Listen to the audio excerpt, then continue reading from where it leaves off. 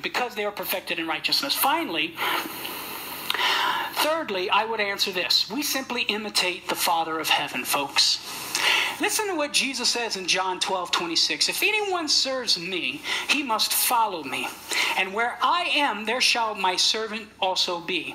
If anyone serves me, the Father will honor him. The Father will honor the one who serves Jesus. Amen? Well, folks, the saints in heaven serve Jesus perfectly, 24 7, day and night, unceasingly, as the book of Revelation says, the presbyters worshiping the Lamb of God. That's what the essence of service is. In the heavenly court, true service is worshiping the Lord.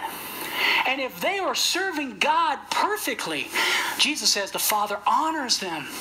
And as Christians, we simply imitate the role of, to imitate the Father by honoring those who have served Christ perfectly in order to not take away from Jesus, folks, but to glorify the power of Jesus because it is only in, through, and with the power of Jesus that the saints could have achieved the perfection they have in the heavenly kingdom.